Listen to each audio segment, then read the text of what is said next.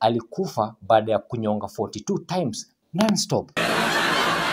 tunapenda mushene Thank you, thank you, thank you, thank you wakurugenzi, thank you wakurugenzi. -hmm. that's me.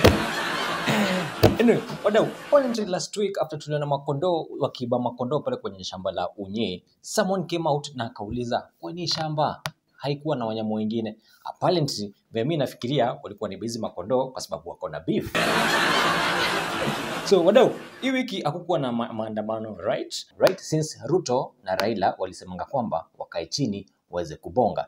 This reminds me of Mandago akiwaambia mweke siasa kwa lungs, ukikoa inatoka. So apparently nikiona pitapita kwenye kwenye mitandao nilionanga hii video nikaweza kunikumbusha of watu wakisema ati kwamba siasa ni mchezo chafu. Check out on this video. Kuna wapi sasa? Imeshararuka.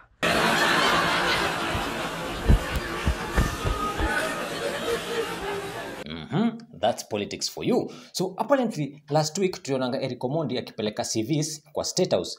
Eh, which reminded me of watu kwa State House hizi siku hawaajiliwi kutumia CV zao. Apparently tulionanga wakichagua PSs na CSs bila of degrees. So apparently inanikumbusha you should read the situation which apparently Eric Omondi hakuweza kusoma.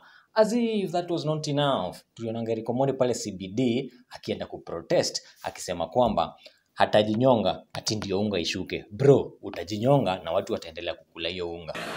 Imagine utakuwa provide food yao hiyo siku na kwenye kamiti ya mazishi. Mimi nawaambia kama nasikia sauti yangu, natoka hapa nikiwa nimekufa leo. Eh, ndo sauti ya Kenya, mnyonge asikike. Mimi ndajinyonga, ndo mnyonge asikike. Haya, nataka unga ende chini bro. Umesikia handshake?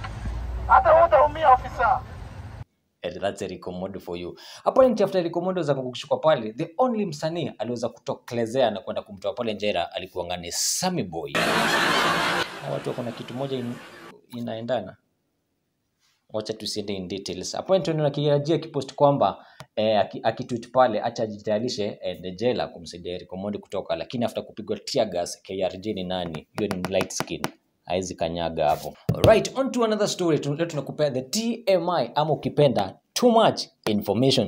This is after mtoto wa Diana ama ukipenda Bahati after kuenda yangu na yangu ama ukipenda after kutoka pale Netherlands, mchezo wa bedsheets na duvet, alionekana ameshika mguu Diana. Actually, imagine this one is your pillar of strength. This reminded me of, nakumbuka mkienda watu watu mkiingia supermarket ukiona kitu unashika mamako mguu ndio asiende. Actually, hii jina ya mtoto wa Diana ilitokanga hapo. Actually, hizi vitu mingi zimeanza ku make sense of late. Imagine huyu ni pila wako anashika guy. Okay, tunaita 2TMI ama ukipenda too much information. Right? So Diana akuwa amepost hii eh, picha alianzanga kuandika hapo chini. Eh, kwani jana kuliendaje? Don't tag him, he is still recovering.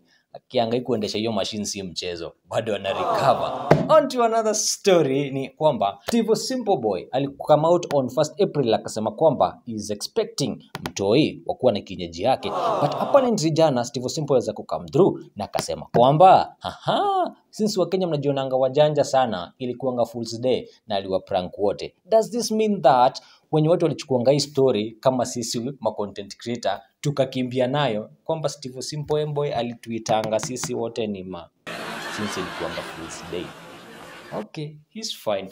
On to another story, but a sad story is that eh, a Brazilian boy 16 years old teenage alikufa baada ya kunyonga 42 times non-stop.